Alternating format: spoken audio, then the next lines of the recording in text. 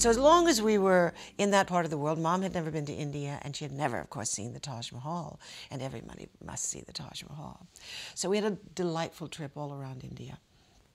And the night we went back to New Delhi, and the night that we were leaving for uh, to go back to Europe, um, all the planes from from uh, India uh, tend to uh, leave very very early in the morning, or late at night, or early in the morning, about one two o'clock in the morning, in order to make their connections when they arrive in Europe on the other side.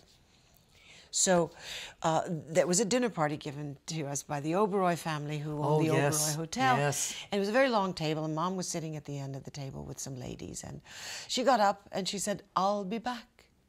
And she disappeared for two hours. And she came back, was a knock on my door. I opened the door, and there she was standing there with a diamond in her nose. she had gone out. She did it. And of course, I said the only thing that I could possibly, anybody in their right mind would say, I would say, What on earth possessed you to do that? So there was a complete role reversal. Oh, I was now the parent and she was the child being pierced. And it wasn't just a chip, no, it was an actual stone right there. yes, I know? saw it there. You remember that? and so I said, when she described why she had done it, she recalled the time when she was a child and her uncle Leo, coming from Poland, It was a great adventurer. He flew planes and do it all the And he had a subscription to the National Geographic's magazines, which she would look at.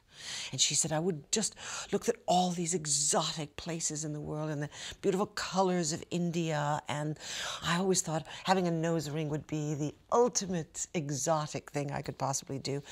Well, the fascinating thing, Ruta, is that the National Geographic's magazine wasn't published in color until the 1960s. So she was she imagining. in color. She had a vivid imagination. Oh, yes. And a very active fantasy life.